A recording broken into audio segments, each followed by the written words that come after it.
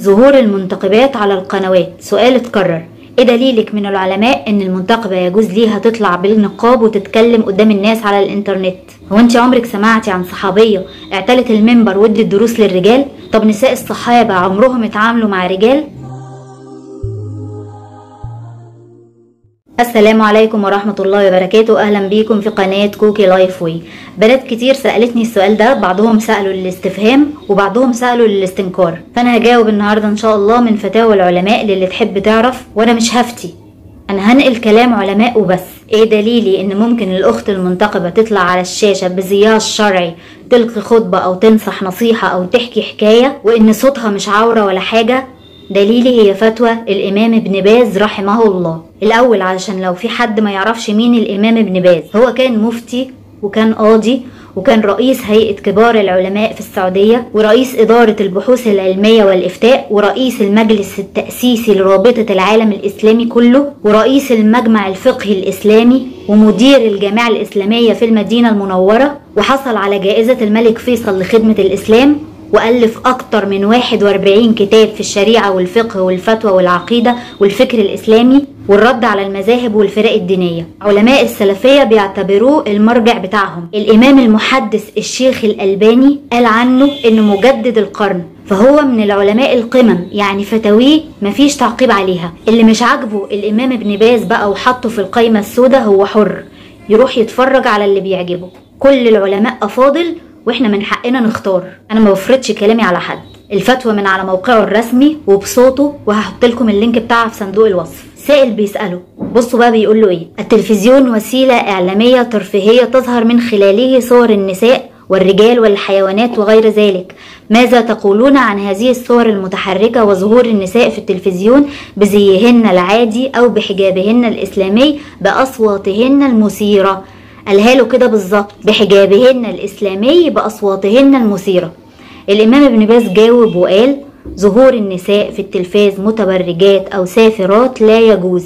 سافرات يعني وشها مكشوف مش مغطياه. سافرات ما هيش شتيمة. أما ظهورهن متحجبات مستورات البدن والوجه في خطبة أو في كلام أو في توجيه وإرشاد أو إخبار عن شيء فلا يضر. لكن ظهورها متبرجة سافرة فهذا لا يجوز. باقي الفتوى بتتكلم عن النساء اللي بيظهروا بدون حجاب وبزينة مبالغ فيها وملابس ضيقة وهكذا.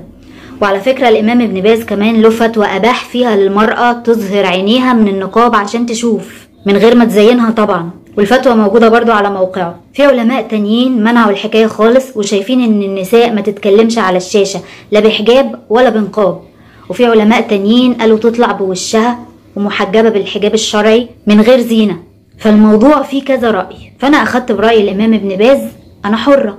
وأنتي أخدت برأي عالم تاني أنت حرة. لا هغلطك ولا تغلطيني. طيب هل زوجات النبي صلى الله عليه وسلم اعتلوا المنبر عشان المنتقبة تطلع في اليوتيوب؟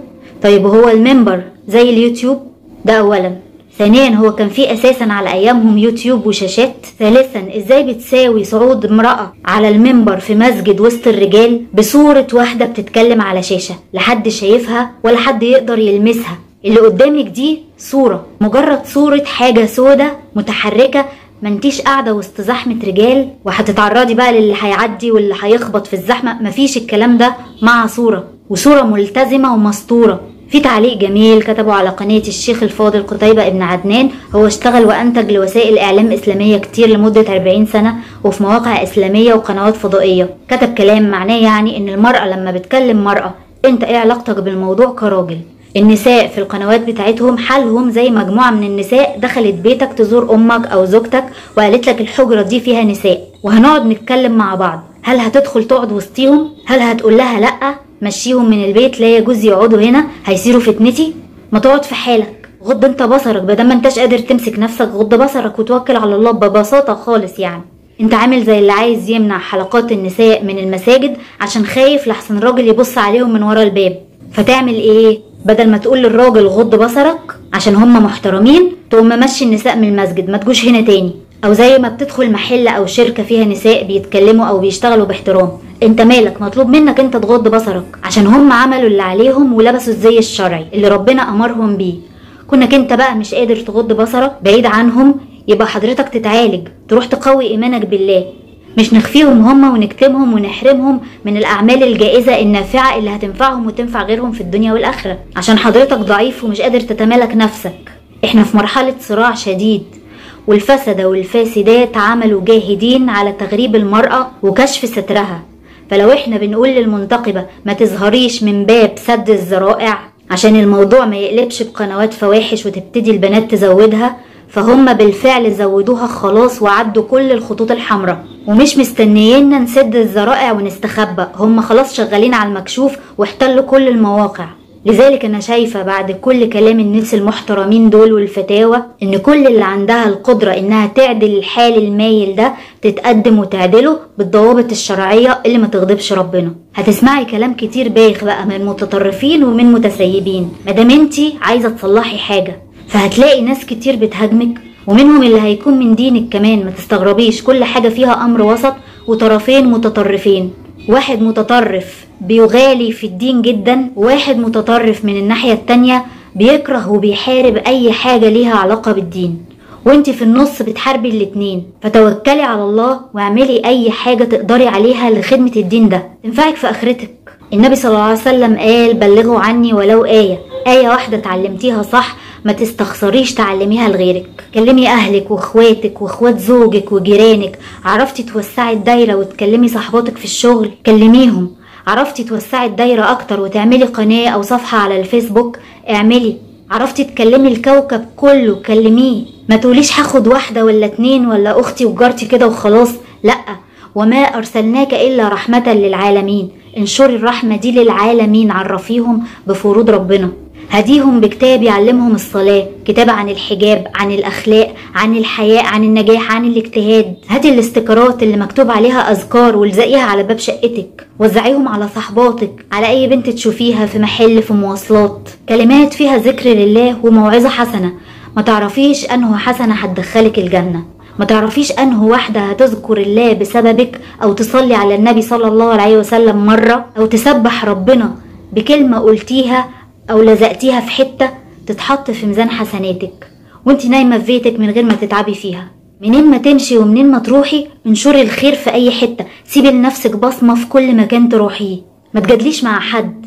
ما تخشيش في حوارات ونقاشات ملهاش فايدة. ما تخسريش حد عشان شخص أو عشان تعصب لسياسة ولا الكورة ولا الحزب ولا الدوشة دي كلها. لا ركزي في إنك تساعدي الناس دي إن رقبتهم تعتق من النار. ركزي في فروضهم وأخلاقهم. لما أخلاقنا تتصلح الدنيا كلها هتتصلح بسهولة ومن غير تعب. ساعديهم وساعدي نفسك وما تتكسفيش. طيب هل كان في دور للنساء في الدعوة الإسلامية؟ وهل الدور ده تواجد فيه رجال ولا ما كانتش بتتعامل إلا مع النساء؟ آه كان في نساء وصحابيات بتتعامل مع الرجال في حدود مش شات بقى ومكالمات وسهر وسمر للصبح. عشان بس ما حدش يقول لي انت بتبيحي الاختلاط وانت مش عارفة إيه اللي بيحصل من ورا الاختلاط لا كل حاجة بضوابط. أنا ممكن أروح أشتري سكينة أضيع بيها أرواح وممكن أشتريها للمطبخ. فهل عشان واحد هيستغل السكينة غلط أقفل مصانع السكاكين؟ فكل واحد عنده ضوابط يمشي عليها حتى لو هتتعاملي مع راجل. ما تفتحيهاش بقى على البحري. لا في شروط. شروط في شكلك ولبسك والطريقة اللي بتتكلمي بيها والحاجات اللي بتتعاملي معاه فيها والموضوعات اللي بتتكلمي عنها. وأهم حاجة ما يكونش فيه خلوة. ما تكونوش أنتوا الاتنين لوحديكم كده face to face ومحدش شايفكم ولا سامعكم. لا عملتي الحدود دي وظبطتي الضوابط الشرعية المطلوبة منك. يبقى توكلي على الله واعملي الخير كله في أي مكان. مش عايزين يبقى عندنا جمود في التفكير. لا أنا خايفة بقى لحسن يعمل فيا معرفش إيه فهختفي بقى ومش هتعامل وهعتزل الناس. لا مش كده. اتعاملي. في حاجات ضرورية لازم تتعاملي فيها وتكوني موجودة فيها. مش صحوبية بقى وحكاوي وشات وكلام بينك وبينه على الفاضية والمليانة. لا ما, تخ... ما تحطوش الدنيا في الخلاط. ما تسووش دي بدي. فالنساء في عصر النبي صلى الله عليه وسلم وفي عصر الخلفاء اتعاملوا مع الرجال وزمان ما كانش فيه انترنت كمان لا ده كان التعامل مباشر. وبكل أدب واحترام ودين وأخلاق ينضرب بيهم المثل وتتدرس للعالم كله وتعلمهم إزاي الراجل يحترم المرأة وإزاي يضحي عشانها بحياته كمان وتقام عشانها الحروب عشان واحد بس ضايقها في السوق. مش المسخرة اللي بتحصل بين الشباب والبنات اليومين دول لا. حد هيقول لي ما إحنا لازم نسد الذرائع عشان الموضوع ما يتطورش. حضرتك الموضوع اتطور خلاص وهم مش مستنيينك تسد أي ذرائع. هم انطلقوا وسابوك عشان انت وانتي وإحنا سبناهم ودورنا وشنا من باب سد الذرائع على نفسنا. الشيوخ والدعاة والعلماء مش ملاحقين وشغالين لوحدهم وبيتحاربوا وبيتعرضوا للتشويه عشان محدش يسمع لهم وعايشين في حرب نفسية وضغط عصبي. فالواجب علينا كلنا نساعدهم. نبقى دراعهم اليمين ننشر حلقاتهم ونعلمها للناس ونردد اللي بيقولوه على قنواتنا وصفحاتنا. الصحابيات لما كانوا بيسمعوا عن غزوة كانوا بيروحوا يقدموا خدماتهم ويعرضوها على النبي صلى الله عليه وسلم عشان يشاركوا في مداواة الجرحى وفي إطعام الجنود وسقايتهم.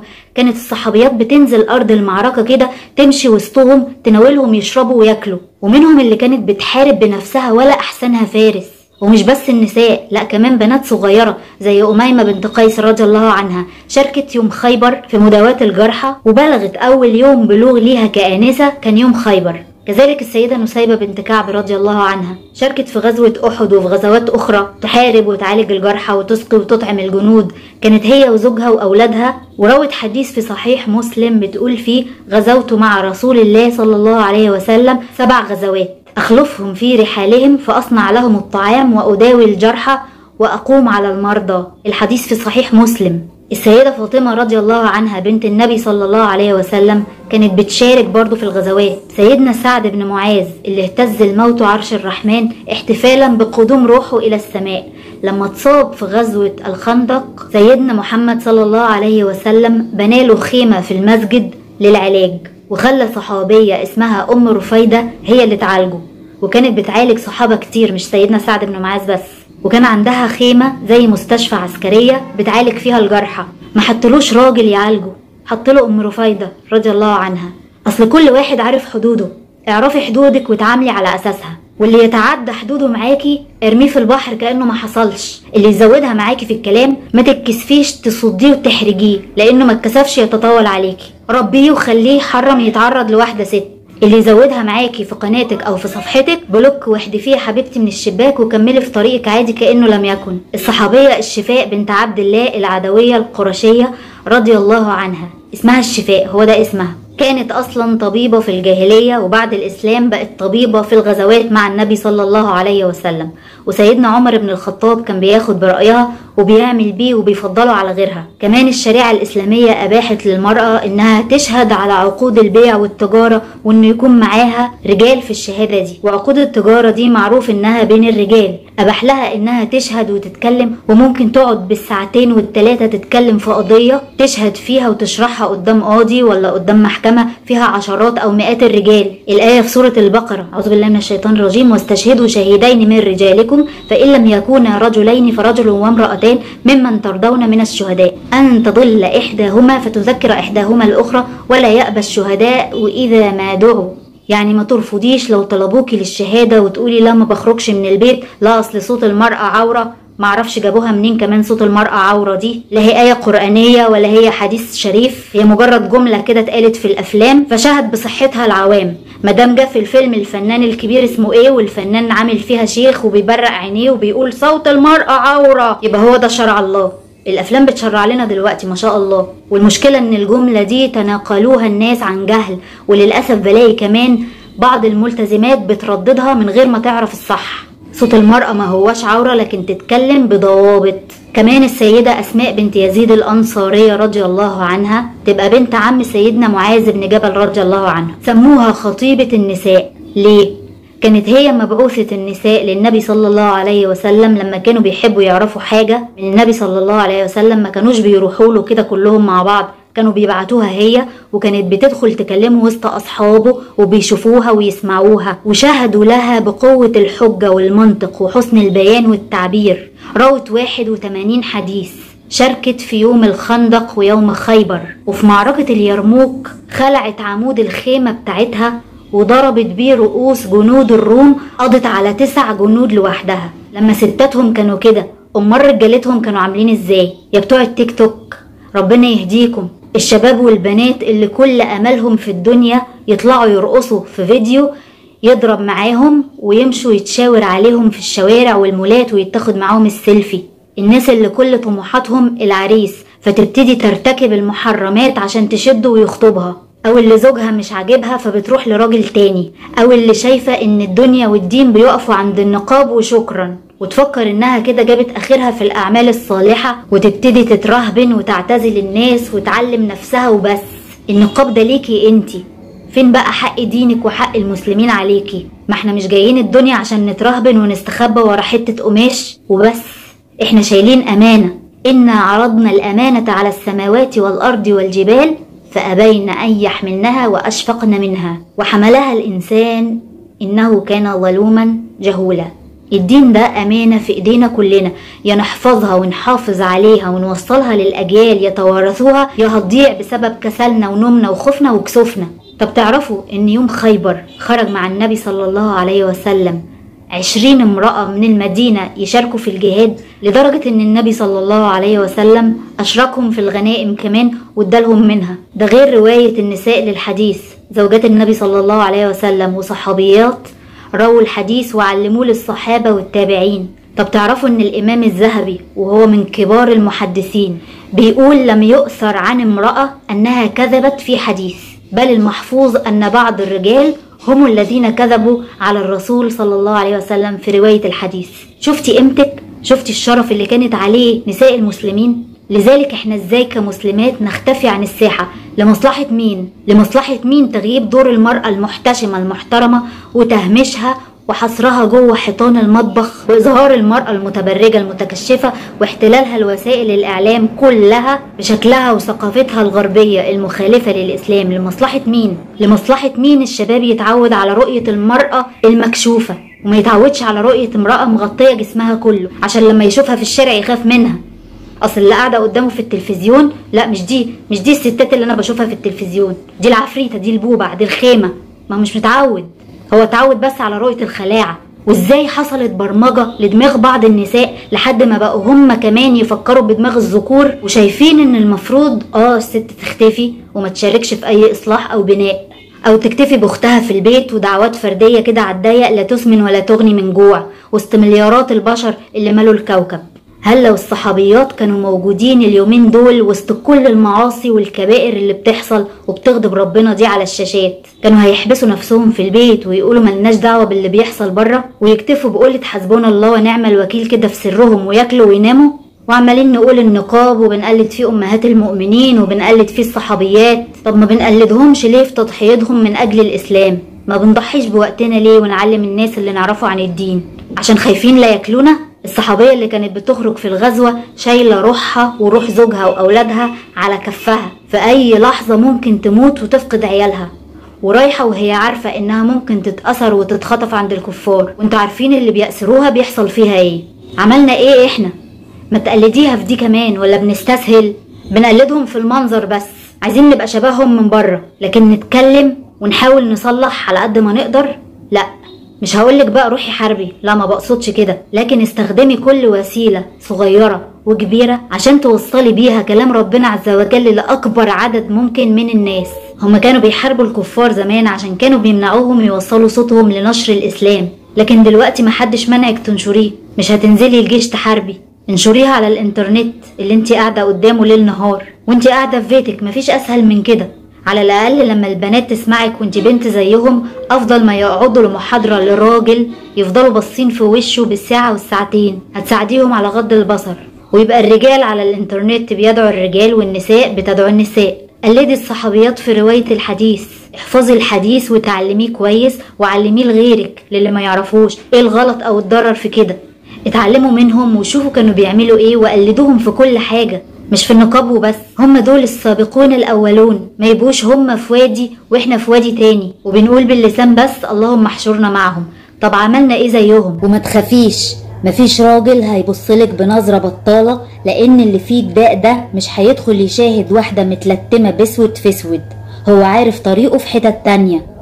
أما لو حصل وده شيء مستبعد فده هيكون واحد عقله ناقص والعيب فيه هو مش فيكي أنتي. لأن انت عملتي اللي عليكي واتغطيتي دوره هو بقى يعمل اللي عليه وما يسمعش ولا يشوف مادام حس ان في جواه حاجة غلط من ناحية واحدة صح. والصنف ده بيكون محتاج يتعالج نفسيا وعقليا مش هنوقف الدنيا عشانه. الصنف ده لو شاف قطة جربانة معدية في الشارع هيفكر فيها من ناحية شمال. فده ما تشغليش بالك بيه ولا تعملي له اعتبار ما دمتي اتغطيتي تماما. واللي هيدافع عنه أكيد زيه. وما تنسوش تبعتوا الحلقة دي لكل حبايبكم عشان الكل يستفيد. ونحاول نصلح ونغير على قد ما نقدر ونعمل حاجة حلوة لديننا. تفرحنا يوم القيامة وتبقى صدقة جارية وعلم ينتفع بيه في ميزان حسناتنا إن شاء الله. والسلام عليكم ورحمة الله.